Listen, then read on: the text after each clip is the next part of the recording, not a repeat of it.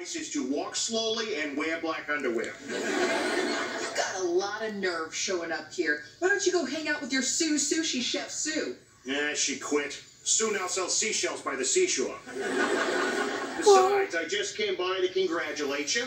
Your seafood tower post went viral. It whipped my Butter Murphy's butt.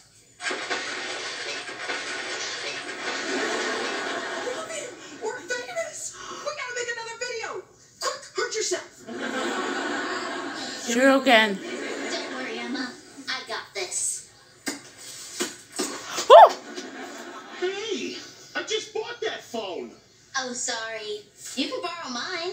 It has a really cute snakeskin case. Yeah, I'm not answering that.